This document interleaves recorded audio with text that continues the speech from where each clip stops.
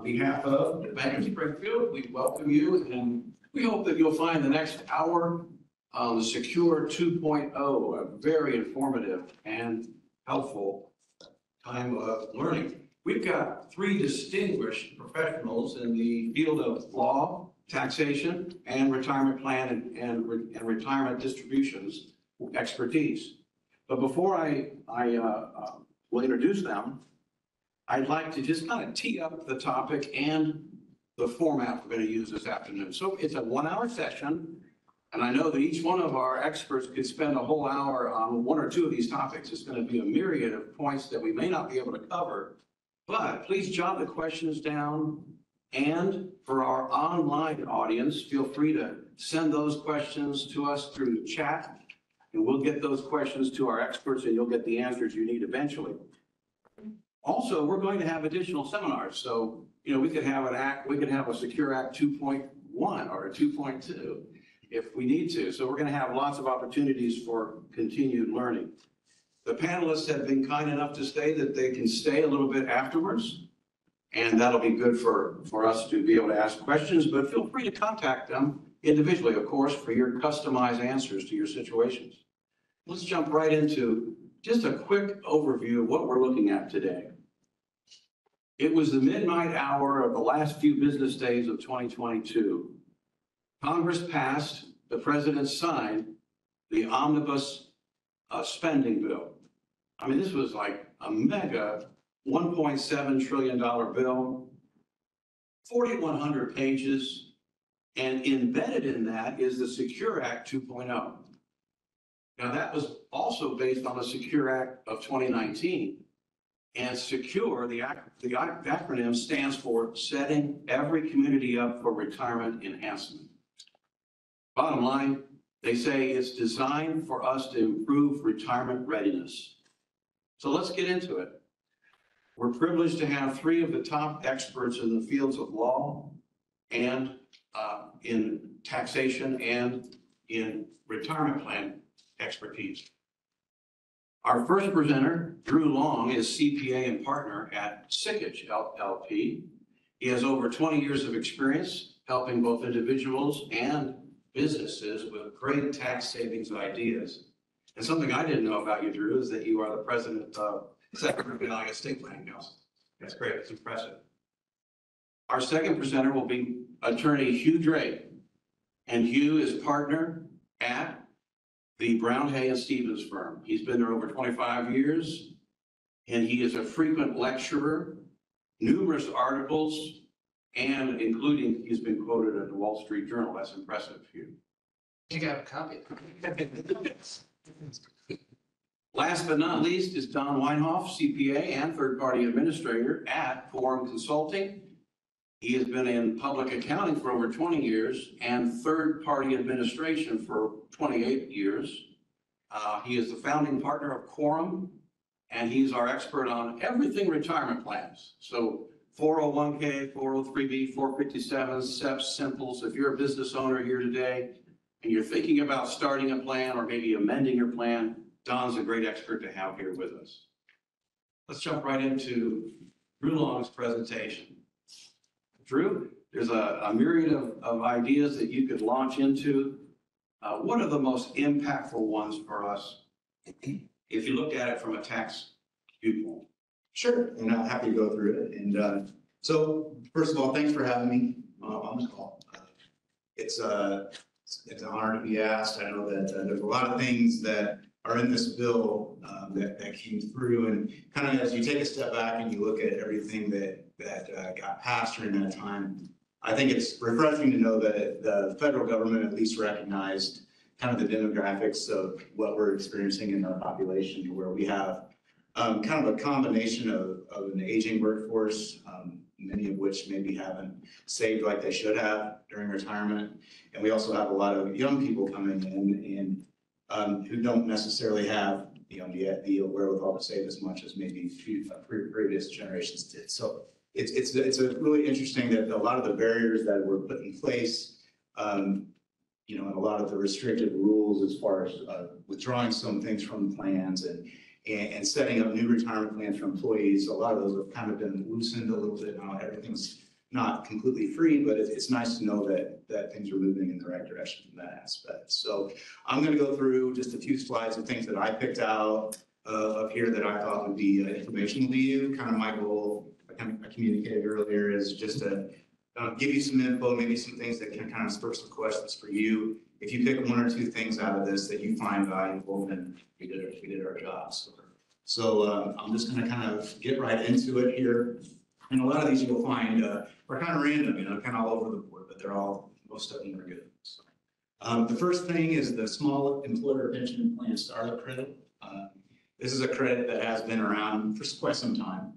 Um, but it does increase the credit. So if you're a small employer and you're starting a brand new plan for the first time, um, you used to be able to have a credit for up to fifty percent of your startup costs, uh, in order to set up that plan. That's now been increased to hundred percent for these employers, which is a very positive thing. Um, and on top of that, um, there's an, an additional incentive for employer contributions as well. So if you get, you're giving any kind of employer contribution to the plan, um, you can, it gets capped up to, uh, I think it's a thousand bucks per employee. And, uh, and it phases out, it starts phasing out, I think, after 50 50 employees. So that's something that's starting right up. And I think this is a kind of one of those things as, as we think about Illinois too, and I am gonna jump around a little bit. Uh, starting in November, I think many of you might be aware, but there's the Illinois uh, Secure Choice Act, I think is the name of that. And, uh, many, uh, business owners in the state of Illinois, if they have uh, over five employees are going to be forced either to provide a plan, okay, for, for their, uh, for their employees, or they'll be uh, forced to participate in a state funded plan, not a state funded plan, but at least in state administrative plan. So, um, a lot of uh, the people that I work for, I think it's almost unanimous that they would rather have their own plan and administer it themselves than leave it in the hands of the state. So, um, when you think of these kind of credits and these kind of things, um, kind of keep that in mind too, because that's, uh, kind of in the background. But that's good. It's an increase in the credit that, uh, was already in place, but it's better. Um, Another one is the Savers Match. I remember this, um, this kind of, this applies to a lot of our younger, um, younger professionals. Um, and you see this the most there. Um, but this credit's always been in place, at least during my career, but if you have income, married filing joint that tops out at around seventy thousand dollars, if you're single, it tops out in the forties. But if you give to a retirement plan at these levels, you're able to have a credit, okay, uh, against your income tax bill. Non-refundable, meaning that you don't get a refund for it, but it does make your taxes lower. Um, That has always been in place and the incentive was to incentivize increased savings in a retirement plan, right? But if you kind of take a step back and think about it, like, they, they give you the credit, but then you get a big refund, and what do most people do with their big refunds? They, spend it, right? They buy big screen TVs and guitars, and whatever, the- whatever the heck else they want to do with it. So, um, one change that they didn't make to kind of tie the loop on that is, uh, uh, instead of getting the credit, the IRS will be putting together a plan. Uh, it looks like it starts in twenty twenty-seven, so anything after twenty twenty-six, to where that money from that credit will go straight to a retirement account, okay, rather than being part of, uh, an increased refund. But that's uh, a change to the savers match, not immediate, but there. Um, probably the biggest one right now for most people is the RMD change. Um, up to only a couple years ago, the RMD was set at 70 and a half. And I think this is just a recognition, that, uh, you know, people are working later into their lives than before. Um, you know, we went up to seventy-two uh, a couple years ago, and now we're going up to seventy-three. Um, by twenty thirty-three, it's gonna be seventy-five. Okay, so it's just gonna keep on going up and up. I think I don't see a trend going the opposite direction, right? So, um, that's a very good planning tool. If you're still working or you don't need to be taking that money out, especially if the market's not where you want it to be, uh, to have that free, okay? Um, other catch-up limits, uh, this is really good in my opinion. A lot of times the IRS makes the mistake of setting limits on things and not indexing them for inflation. Okay, and I think everyone knows um, where we're sitting uh, between six and ten percent inflation, you know, over the last few years.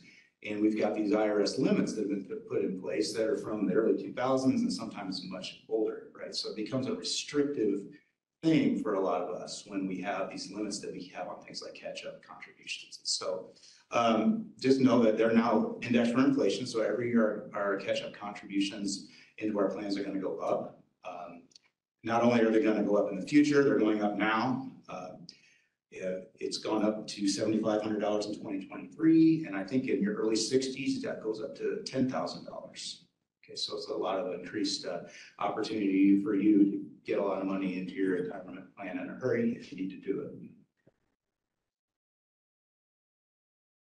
This one was really interesting to me. Um, that's why it's in there, I guess. But, uh, catch-up contributions treated as a Roth. Uh, anytime, and I guess I get, I kind of think of the politics things and I, I find it entertaining. But, uh, anytime when, uh, a, a bill is passed, someone has to be looking at the budget, right? And bel- believe it or not, the budget, I don't know if necessarily balances, but the budget, budget does need to be taken care of. So, um, when you start increasing catch-up contributions and things like that, um, you also got to realize that with that comes larger deductions, with, and with that comes decreased revenue for the federal government. So they put a limit on that. So if you make over, if you make over one forty-five a year, your catch-up contributions will automatically be considered as Roth contributions, which I guess depends on what your perspective is on things. I mean, uh, you don't get the deduction now, but when you retire at seventy-three, I guess would be now, if you're all retiring at seventy-three, then you don't have to pay tax when you take it out. So it's kind of neat, neat little wrinkle into that, into that. Another interesting thing um, is I know that right now the Roth 401k option is a, a very interesting uh, thing that most companies are starting to put into place, at least the ones I'm seeing. I've experienced it myself, right? Um, we have, if you choose to have a Roth 401k and, and your employer matches that, before this year, you'd have a, you'd have a statement and it, and you'd have your Roth 401k balance, and then you'd have a, a, a pre-tax balance of all your employer contributions that are sitting in a different bucket.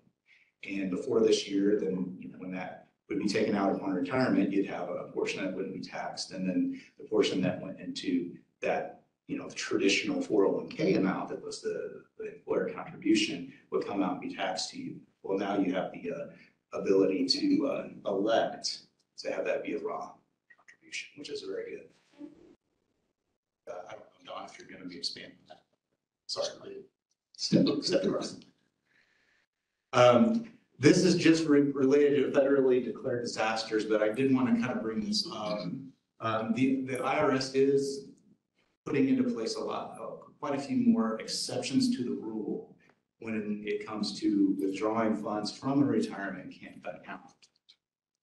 That would normally be subject to taxation and or penalty. both. Okay, so, um, you know, generally speaking, if you're not retirement age and you aren't taking a loan from your qualified plan, then it's gonna be taxed to you. And in most cases, you're gonna be paying not only the tax, but a ten percent penalty on that. Um, if- but in the case of a federally declared disaster, um, if you're in that boat, you can take out up to twenty-two thousand dollars early, um, if you're in a pinch. But you just gotta realize, but for any of these rules, that you have, kind of have to be in a pinch because you have to pay it back over a three-year period. So if you take out the money and then three years later, you don't have the money anymore, then you're taxed on it. So um, beware of that. There are others, I don't know if you remember during the pandemic, there was the ability to do a similar thing. Don, was it a, was it a larger amount of time?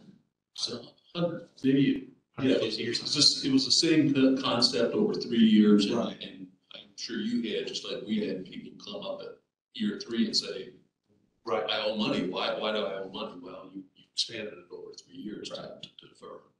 Exactly. Pandemic hit. So that, I think that might have been the start of that a little bit, but, uh, but you can do it in federally declared disasters. It goes on to say if you have qualified education costs, um, you know, if you have a life-changing event such as a terminal illness. Um, a real interesting one that came out that i- is also if you're in a uh, abusive relationship, you escape.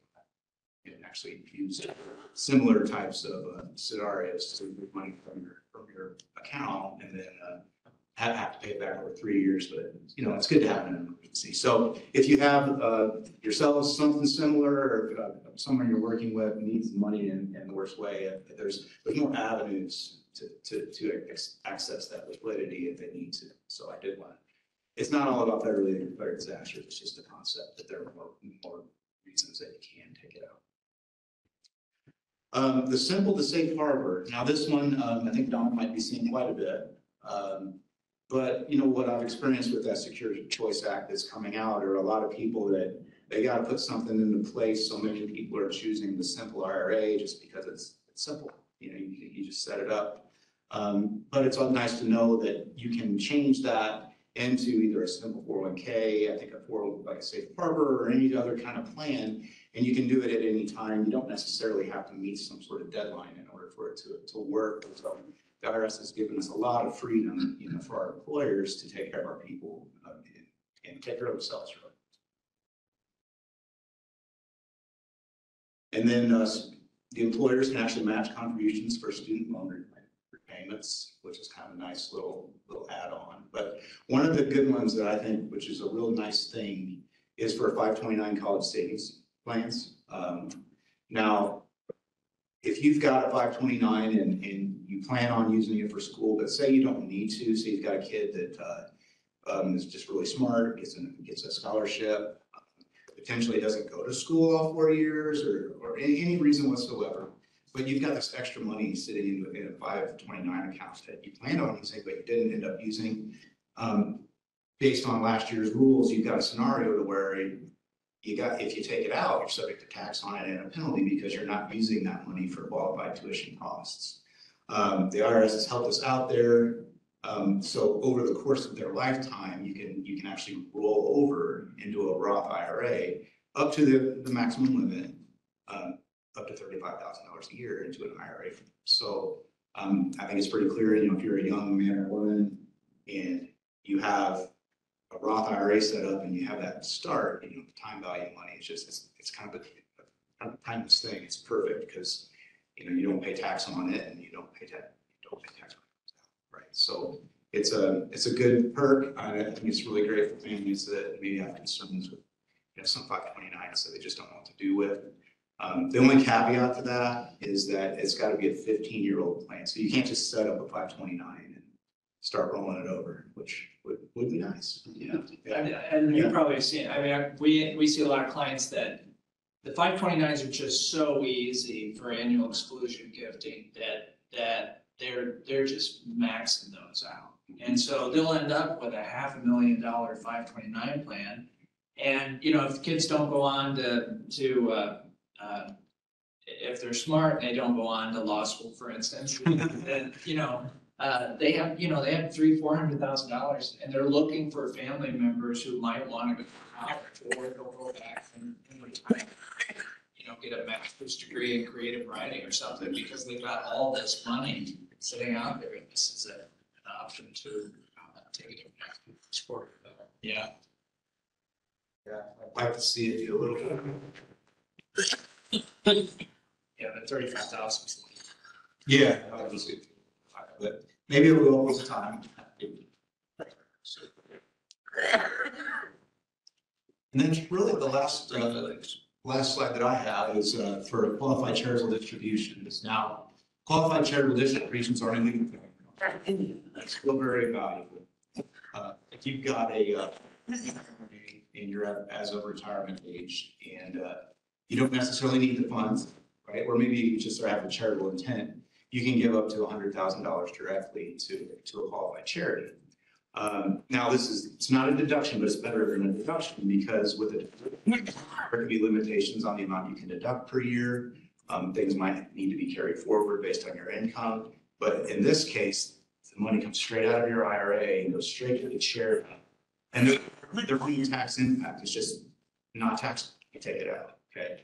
Um, that's now indexed for inflation. I don't know how old the hundred thousand dollars is, but I, I don't remember a different number personally. And two thousand six, maybe. Was it? Yeah. Okay, so that'd be right when I started to do. Yeah. Yeah. So, so that's now indexed for inflation. So if we're at eight percent, then, you know, that, that starts adding up pretty quick. Yeah. Okay, So, and another real neat one I think that you might see a lot of is that, uh, you can also make a fifty thousand dollar distribution straight for like a CRUT, a charitable remainder unit trust or something similar. Um, if you want to use that as an estate planning tool. Okay, so a lot of cool stuff. It's not all of it. But yes, And especially with the five twenty-nine Roth, anybody excited about that? Yeah. Anything? We've got room for a a question or two. Yeah, um, so Carla online said with all the emphasis on the Roth opportunities, I'm thinking of converting my personal IRA to a Roth IRA. I do so. Um, well, I think it depends on a couple things. Um, it depends on your, uh, your age and what your expected rate of return is and life expectancy. I think that if you talk to your financial planner, the financial planner will do what's called a, uh, a break-even analysis for you. And what that means is that if you roll it over to a Roth, you're taxed on money. And depending on your, say you're in the twenty-four percent bracket, well, you've, you've just cut into that twenty-four percent. So how long does it take for you to grow that money back to the twenty-four that you lost by rolling it over and then seeing if you, if, if you can do it. And Also, you gotta also think really use it, you know, it's because it can be becoming a great wealth transfer tool as well. So if you never plan on using it during your life, it becomes a little bit of an easy decision. Hope that answers this question. Any others for Drew? I know, that's all we had right now. Okay. All right, well, let's, uh, let's move over to, uh, Hugh. And Hugh Drake, uh, with his expertise on law, the aspects of the Secure Act two oh that he's looked at as being the most impactful. Yeah. And Hugh, in- includes, uh, piggybacking on the QCD. Thank you. Yeah, that's the only reason I knew it was two thousand six, because it was in black supply. It looked very smart there, it's like, yeah, two thousand six. Um, so the, uh, yeah, just to expand a little bit on, on the, uh, uh, IRAs and charity, you know, if you're charitably inclined, that's always the starting point, if you're charitably inclined, because these opportunities, um, you, you know, they're not gonna save you a whole lot. Um, I mean, this is not a play for personal savings. This is a better way of contributing to charity. IRAs have always been a, a, great asset for contributions to charity with all of the built-in income tax consequences, which are not a concern for the charities. It's like, um, uh, like farm ground, like low basis farm ground. Great asset for contributing to a charity because the charity is not worried about the capital gains. So there are better and worse assets um, uh, when you're talking about charitable gifts. And so this gives us a little more um, benefit on um, the one-time hundred thousand. And, you know, with it being indexed for inflation these days, uh, that's no joke, you know, so that's, uh, that's gonna go up dramatically. Um, now, the, the one-time contribution of up to fifty thousand dollars to a charitable remainder trust or a charitable gift annuity.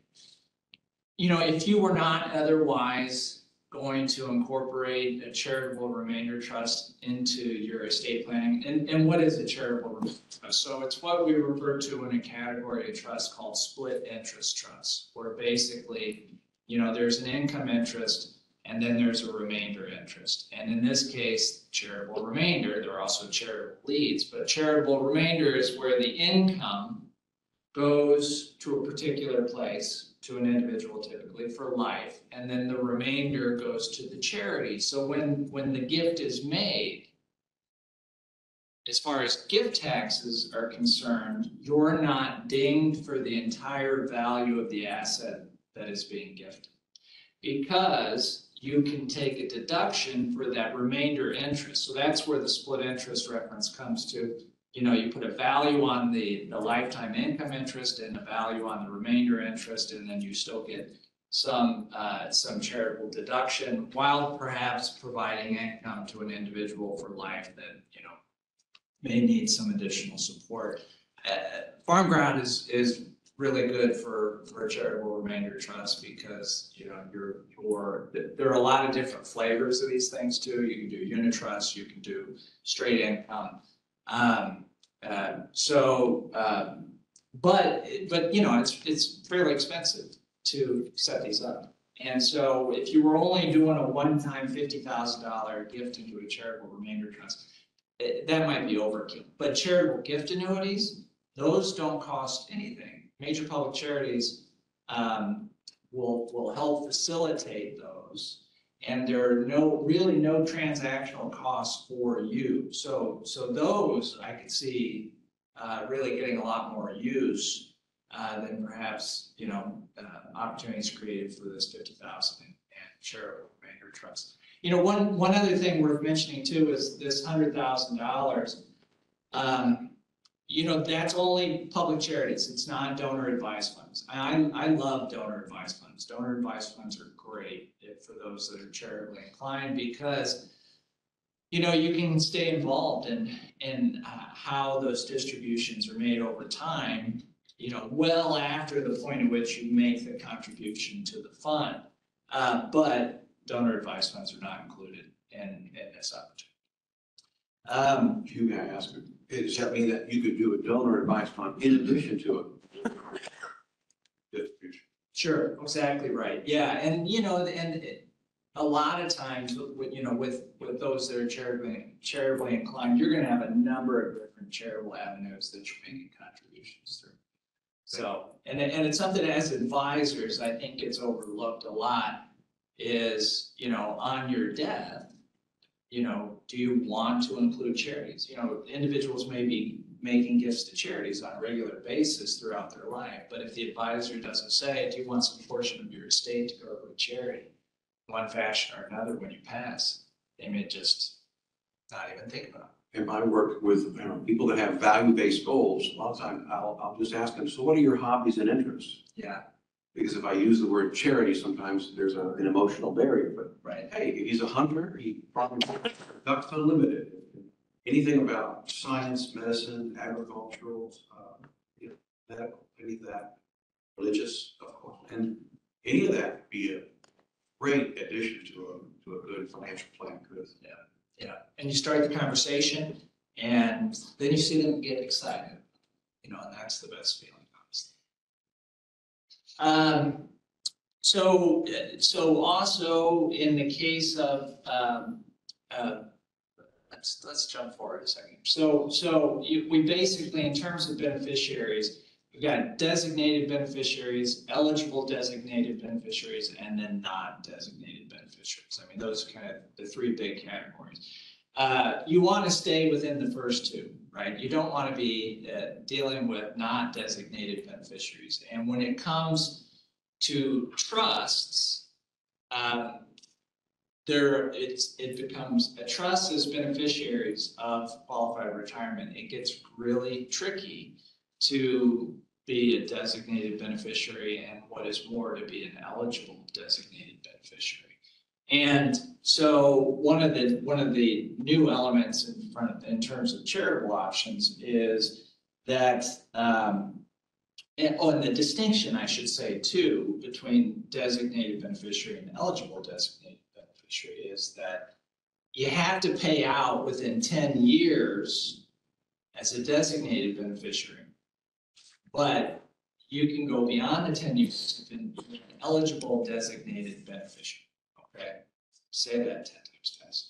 So, um, um, with beneficiaries of special needs trusts, um, those beneficiaries being disabled or chronically ill, uh, they're exempt from the ten-year rule as long as all the other beneficiaries of the special needs trust are qualified beneficiaries for RMD purposes. And where that posed a problem a lot of times with people with uh, uh, children with special needs is they would want to provide for the remainder interest of the trust to go to the charitable organization that was providing the care for their child. But, but that would, that would blow the ability of this, uh, using the, the child's lifespan as the payout um, you would be limited to this ten-year window for payouts. Well, that's not the case now. Now you can name a beneficiary, name a charity as a remainder beneficiary of a special needs trust. And still use the child's life expectancy for the payout, um, through the special needs trust. And, um, this kind of requires a little bit of context in terms of trust as beneficiaries. So I, I mentioned how, how difficult uh, it can be, and which is why a lot of times we really just try to avoid trusts as beneficiaries of qualified retirement plan, except in a few instances where it's really unavoidable. So this kind of shows, um, you know, if between spouse one and spouse two, if spouse two passes first, so this chart is basically being read right to left. If the first spouse to pass leaves everything outright to the surviving spouse, you, you, you lose the ability to use the state tax exception of the first spouse to pass. Because everything is under the marital deduction. So basically, then the surviving spouse only has one estate tax exemption, at least an Illinois estate tax exemption, to pass their assets down to the next generation. So collectively, a husband and wife, if their estates are over four million collectively, then you really have to employ these trusts that are created, trust A and trust B, and they're all a lot of different flavors of these types of trusts. The credit shelter and marital trusts, where you park the assets of the first spouse to die for the benefit of the surviving spouse. It uses the exemption of the first spouse to die and doesn't become part of the surviving spouse's taxable estate. And by doing that, we can double estate tax exemption for the amount passing down to the next generation. So for Illinois purposes, we can get up to eight million. And for federal purposes, at least right now, the federal exemption per individual is almost thirteen million. That's gonna change in twenty twenty-six, but right now, we can get up to like twenty-six million almost for federal purposes. As long as we employ the exemptions of both spouses. But generally speaking, if we don't need to rely on the value of qualified retirement to fund these trusts, we just kind of take a parallel track and keep it as simple as possible. You know, the keep it simple, stupid premise is, is just name spouse outright as the primary beneficiary of your retirement plan. And name children in equal shares as the contingent beneficiaries.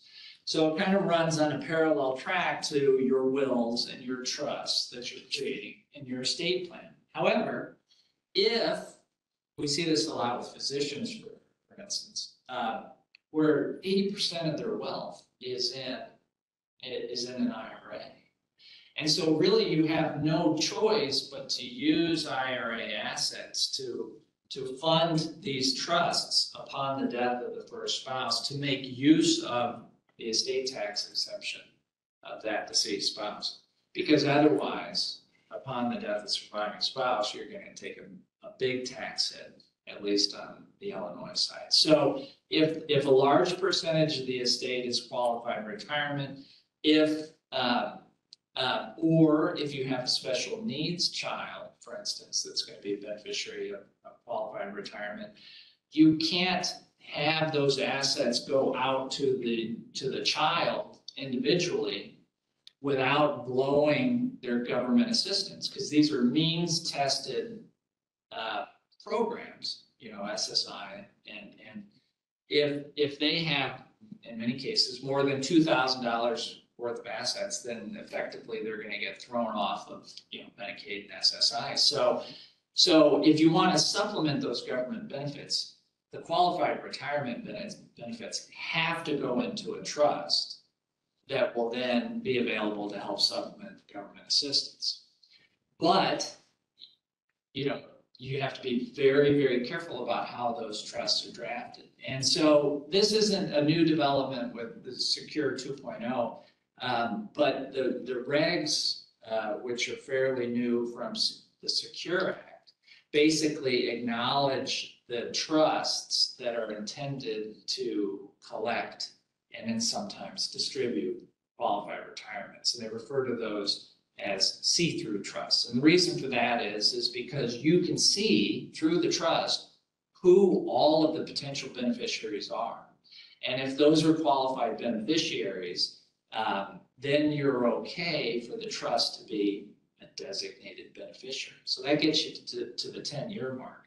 But if you pay out of the trust, all of the retirement assets that are distributed in the trust get paid out. So whatever the, the RMD is, gets paid out to the beneficiary. It's what's referred to as a conduit trust. So basically, you, you will just ignore the existence of the trust And that beneficiary will be treated as the beneficiary for purposes of determining how long the payout is. But the problem is, is you have contingent beneficiaries and contingent remainder beneficiaries of trust. So that's where it becomes very difficult to draft to make sure that you're not, you know, there's no cliff fault in terms of a trust being a beneficiary, uh, qualified retirement. And, uh, so if we can avoid it, if we can keep it simple, that's what we do. But, but where does it, uh, really come into play? If you have to use the value of that qualified retirement for purposes of using estate tax exemption and if you have a special needs child. Or if you have, uh, if you have minor children, same thing, because you don't necessarily want those funds all being distributed out to a minor child. Or if you have children with uh, drug or alcohol dependency issues, that type of thing. And the potential for the tax consequences, you know, there is always going to be some risk that there's going to be an issue taken with the way the trusts are drafted. And, and perhaps you're going to have more income tax liability as a result of that. But the, you know, but on balance, protecting a special needs child from losing their government assistance would take priority. Protecting a child from themselves that has drug or alcohol dependency, for instance, or spendthrift issues, that takes precedence. Um, so, so you really, we try, we strive to try to keep it as simple as possible. Keep the qualified retirement on the outside of these trusts, uh, but use them when we have to. Now we know what they meant by sophisticated estate planning. And I, I really appreciated you bringing up the Illinois state estate tax.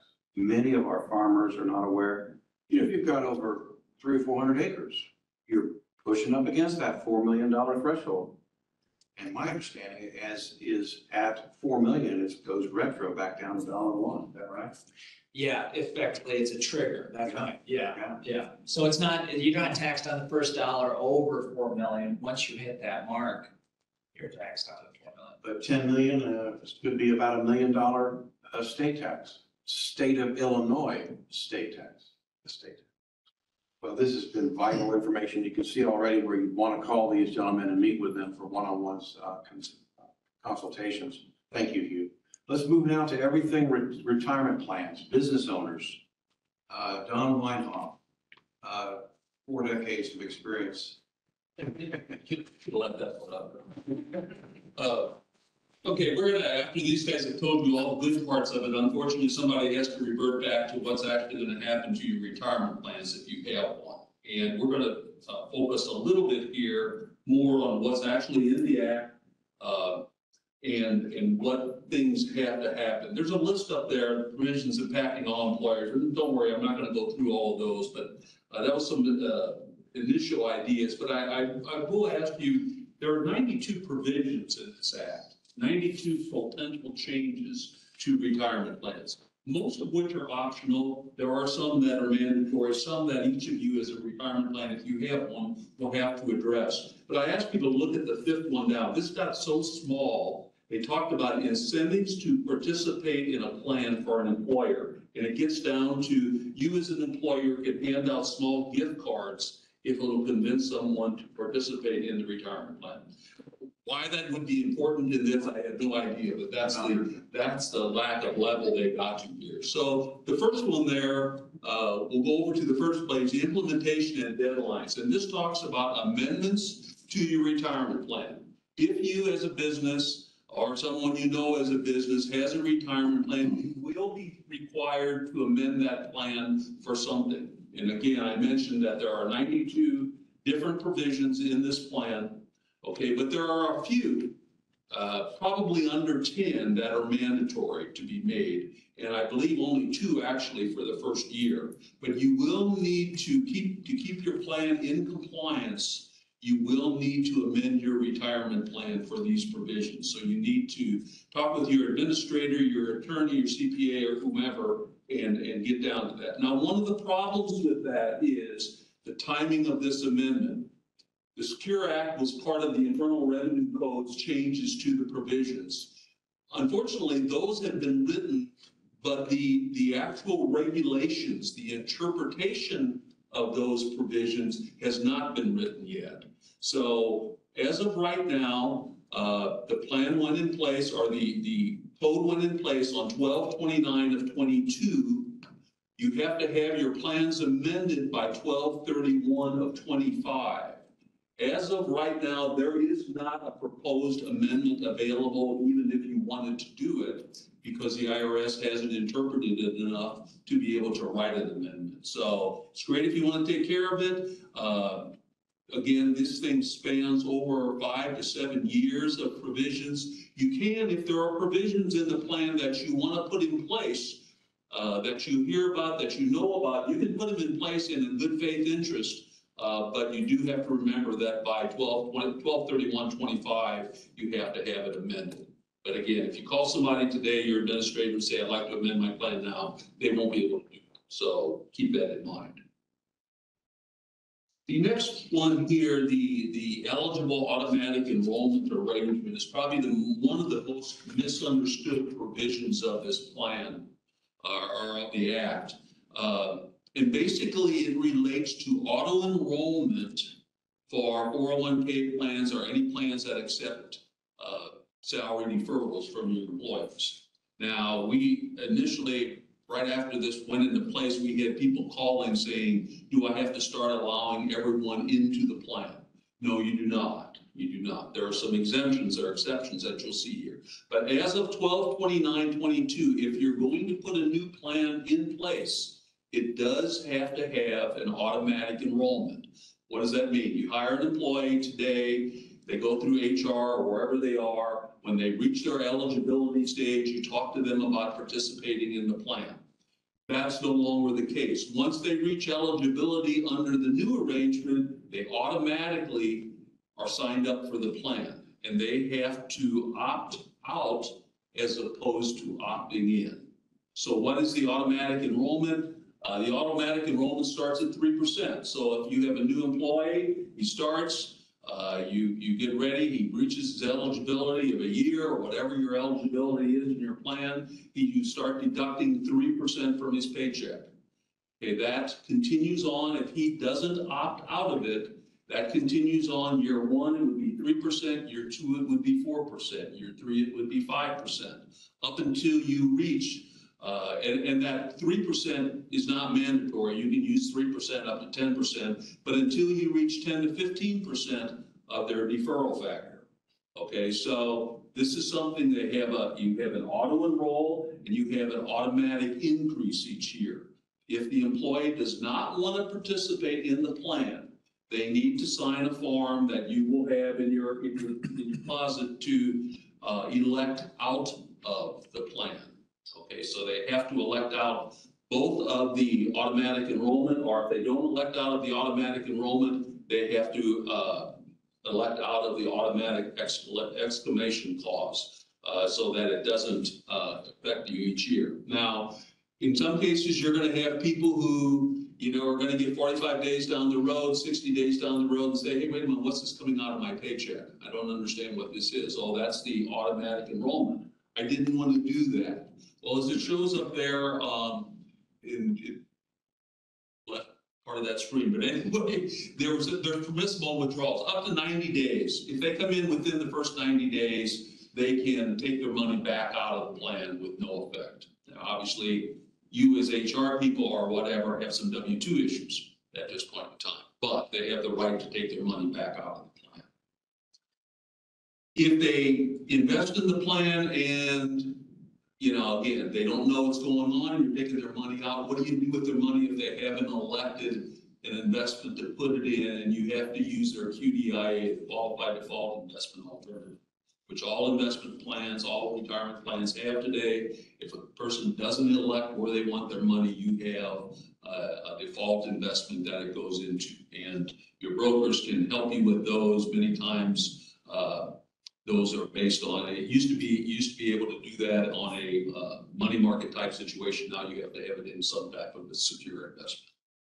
Okay, so then on to the next section, we look at the exceptions. There are obviously exceptions to this. Current plans that are in place prior to 12, 29, 22 are exempted. Don't worry about it. It's, it's not true. You don't have to start enrolling people. If you're a new small business and you're under ten employees, ten employees or less, you don't have to use automatic enrollment. If you're a new business, you don't have to use it. There are other provisions in here uh, for new businesses. So there are some, some outs. I will caution you on one thing. One of the new things going on in the retirement plan business are what's called, what are called MEPs, multiple employer plans. And a multiple employer plan uh, would be a situation where uh, someone adopts a retirement plan and they're accepting people to participate in that plan because of the benefit of you don't have to have your own document, you don't have to produce your own fifty-five hundred. Uh, so multiple employer plans are, are, are the, the new hot thing. You don't have to be related entities. I caution you that the IRS has said, even if you've had a plan for ten years and you now want to join a MEP, which is sponsored, let's say, by the Bank of Springfield, uh, that becomes a new plan and now your automatic enrollment kicks in. So be careful there. There are some catches there. The, and, and the one little bit of confusing thing, the last two bottom lines there, um, this automatic enrollment goes into effect, effective with all plans that will be written after 12-29-22, the date it was signed. But you don't actually have to start auto, uh, withholding until after 12-31-24. Makes no sense. What are you gonna do in that interim period? Well, you're gonna function as office, but, but that's the way the current regis, uh, legislation is written. The next one here is a provision in the plan that could catch some people, and this actually, it's called the long-term part-time employee provision. And this actually came into being with the original Secure Act in two thousand nineteen. Uh, as most of you probably know, uh, in your plan, you, you have an eligibility point. You have to have a thousand hours, you have to have one year of service, whatever you have to have to, to become eligible into the plan. And as we've advised people for years, okay, you have a thousand hours, uh, you got a bunch of part-time people, better cut them off at nine ninety-nine, otherwise they're gonna become eligible for the plan. The IRS has said, uh, I can't do that any longer. Now, if you have part, long-term, part-time employees, and they have five hundred hours or more for two years in a row, they automatically become eligible to participate in the plan. Uh, so that, um, is one that kind of catches some people. Uh, we're not necessarily talking about seasonal people or anybody else, but people that have part-time employees who, uh, for whatever reason, you know, maybe work 700, 800, 900 hours during the year. Uh, starting in two thousand, after the years, beginning after 12-31-24, If you have part-time employees, five hundred hours or more a year for two consecutive years, they become eligible to defer into the plan. Now, that does not mean they have to get an employer match or a profit sharing contract. Okay, you can still set those provisions within the plan, still need a thousand hours, last day clause, whatever it might be to get a profit sharing contribution or a employer match. Uh, but they do have to be allowed to defer into the plan at that point in time. The other question, which really hasn't been specified totally, but the question is, well, what happened vesting wise? What if you have a vesting schedule on your match or your profit sharing? Uh, it appears that those five hundred hours are gonna count as vested years. Uh, so that could change your vesting schedule if you use a six-year vesting schedule or something. Okay, now we'll get into something that Drew already touched on, but I'm gonna just add a little bit, uh, to it. Uh, Drew talked about the catch-up provisions in the plan for, uh, that, for individuals, and this is for individuals in your organization that make more than hundred and forty-five thousand dollars a year. If they want to use the catch-up provision, so in the case of a four oh one K plan, instead of deferring twenty-two five, they can defer up to thirty thousand. That additional seventy-five hundred has to go into a Roth uh, designation as opposed to a pre-tax designation. Uh, The, the problem with that is if you have a plan that does not allow Roth contributions, then there is no way for that individual to put money in a Roth account. Unfortunately, that also means that no one then would be allowed from a discriminatory standpoint to make catch-up contributions. So if you have a situation where people use catch-up deferrals in the retirement plan, uh, many times higher paid employees, owners, or whatever it might be, uh, you probably need to look at, if you don't have a Roth provision, adding a Roth provision from your plan, because by not having one, you will not only prevent the higher paid people from catching up and putting money in Roth, which will be required, but you will stop any other employees from being able to use the catch-up provision also. John, quick question. Yeah. I noticed the effective one one twenty-four. Can they amend that plan now with you? They can, they can. And any of these things can be done now to avoid uh, last minute issues.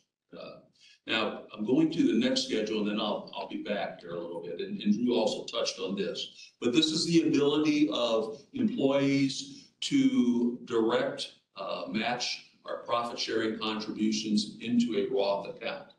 Uh, Same issue here. You, obviously, you've gotta be set up to handle Roths, uh, and then it can go into the Roth account. The thing that no one ever seems to talk about here is let's, let's think about what happens with this. Okay, Mr. Smith, Ms. Jones want to use the Roth for their profit sharing or their match. Roth is post-tax money, not pre-tax money. Everything that's been going into those accounts prior to this is pre-tax, meaning that they'll pay tax on it when it comes out. Just like Roth deferrals as they go in, which are post-tax, someone's going to have to pay tax on these profit sharing and match amounts during the year that it happened. So Mr. Smith now says, oh yeah, I'm gonna get a five thousand dollar profit sharing contribution. I want that to go into my Roth account. Okay? Now Mr. Smith is faced with who's gonna pay the tax or how is he gonna pay the tax on that five thousand dollars? Okay, so again, Roth is post-tax, so someone has to pay the tax now. And obviously, the employer is not going to pay the tax for Mr. Smith. So Mr. Smith is going to end up with a tax bill at the end of the year for five thousand dollars times his tax bracket, uh, and it's going to be somewhat of a shock. They haven't decided yet. Uh, the IRS hasn't decided yet how that's going to be reported.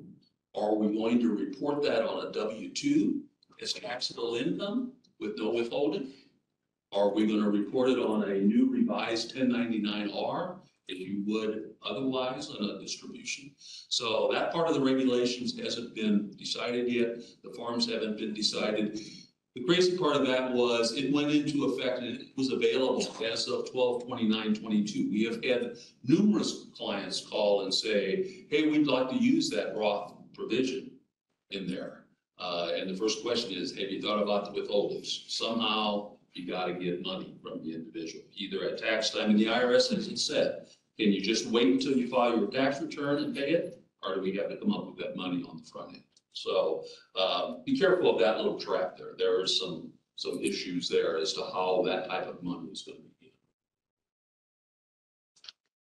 The starter four oh one K is really not that, uh, significant of a, uh, an issue. What that is saying is, is that for small new employers, uh, if you don't want to do a full-blown four oh one K plan today, you have the option of using a simple IRA or simple four oh one K. Uh, but unfortunately, the simple plan, uh, did require employer money. Now they put this new starter four oh one K into being so that if you look down the list there, uh, it, it is a regular four oh one K. It does have deferrals. But the deferrals are limited, at least on the initial year, of six thousand dollars, and there is no employer contribution being made. So basically, it's a deferral-only plan that allows you, it does not have discriminatory, discriminatory testing, uh, or top-heavy testing. Uh, so you can put this plan into place, an owner could put in six thousand, um, and regardless of what the employees do, it, it wouldn't be tested for discrimination. You wouldn't have to create a safe harbor type so scenario like we do today in the simple or in a safe harbor four oh one K plan. So it's just a, uh, kind of a smaller plan for, uh, I guess, new businesses. This one kind of, uh, kind of makes you wonder because you've got an IRA limit of sixty-five hundred. Uh, it's not quite sure yet whether this new smaller plan is gonna track with the IRA limits, and if so, then why am I doing this? What, what is this for? But remember, today, with this plan being in place, we have four oh one K plans, which allow twenty-two thousand five hundred dollars in deferrals, 7,500 catch-up, or thirty thousand dollars a year in deferrals.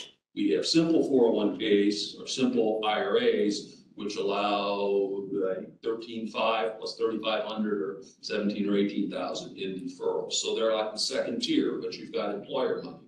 Then you've got SEPs where you could do the same thing with, and now you have a new third level, fourth level of a plan, of a starter plan, which would kind of be the infancy stages. There isn't anything written on this, how you would convert this yet to a regular four oh one K as the business grew. Uh, like Drew mentioned, with the simple four, simple IRA now, you're able to convert that to a four oh one K plan during the year, which is, uh, very, very, very nice for businesses because prior to this, a simple four oh one K plan couldn't be rolled over until it had been in place two years, and it could only be, you could only have one plan in place at a time, and so that was a problem. So this, this conversion topic was, was well, worthwhile for many people. But this new plan, uh, kind of makes you wonder what they were trying to accomplish here. Uh, it really is nothing more than having an IRA, um, at that point in time. Uh, there are no filing provisions, you don't fifty-five hundreds or anything like that, so I, I guess it's a cheap way to put an easy plan in place.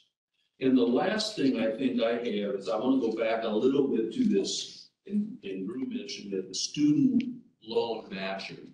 Uh, this is kind of an interesting concept, and, uh, without getting into a lot of the details, what, what the, the logic behind this was, was that, well, we have a lot of young employees on our staff, and we have a four oh one K plan, but they're saying they can't afford to participate uh, because they have too much in student loan debt. Uh, and so because of that, they're not able to take, uh, advantage of employer matches. Okay, so they can't get an employer match because you gotta contribute to get an employer match, and I'm pouring all my money trying to pay down my student loan. So what this provision is, is, um, allowing the, if, if, and it's an optional provision for a plan, but allowing the employer to adopt the, the provision that says, okay, well, if you're making student loan debt payments, I'll consider them to be salary deferrals, and then I'll match them also, as, as we do with the normal salary deferral. Unique concept, uh, a lot of people think this is going to be a big deal, uh, from an employer standpoint. Not sure this is really, I mean, how are you gonna verify? How much do you know their debt is? And The other question that has come up is, okay, uh, I have thirty thousand dollars in student loan debt, and this year I paid down five thousand of that. Well, was that for tuition? Was that for room and board? Are you gonna match for someone's room and board that they paid in college? Uh, so there's still some real questions of whether or not that is going to, to take and, and, and be successful, but there's been a lot of talk about it.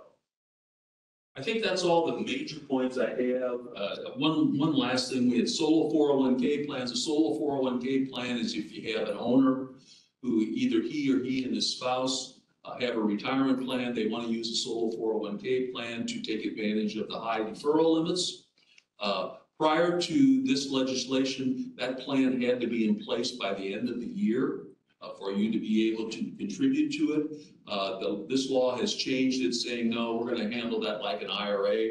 You've now got until the filing of your tax return, uh, prior to extensions, if you wanna set up a solo four oh one K plan. So basically, that would allow you, instead of putting sixty-five hundred dollars if you're over the age of fifty, or 7,500 into a- an IRA, it would allow you to put away thirty thousand based on your income. Uh, So, uh, we'll, we'll see if that has an effect. That is kind of a, a nice fee, but it, it applies to a very small. group. John, thank you. And we have another slide that has all of their contact information. If you don't mind just uh, progressing uh, to the end. There we go.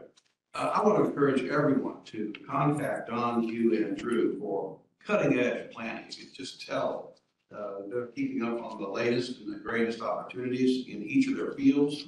We also have an advanced planning department here at the bank. And uh, I'm vice president of the advanced planning department, it's a CFP. We sit down with you to listen to your objectives, your strategies and goals, all encompassing uh, for all your future needs, as well as business owners uh, in succession planning and key employee retention concepts. So I look forward to meeting with you also. Special thanks, I want to give a special thanks, first of all, to Brian Brewer, Senior Vice President of Financial Services here, that he had the vision of the Advanced Planning Department, and he's really uh, helping it grow. And secondly, for today's session, we couldn't have done it without Ashland, Beasley, and McAllister Stash right here.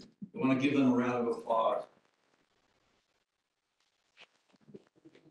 Everything that went into planning for months and the technology and invitations, marketing and all, thank you. Appreciate it. And thank each of you for your attentiveness, and we'll look forward to seeing you again in the future. We'll be here, or if you want to hang out, speak out a little bit. Thank you.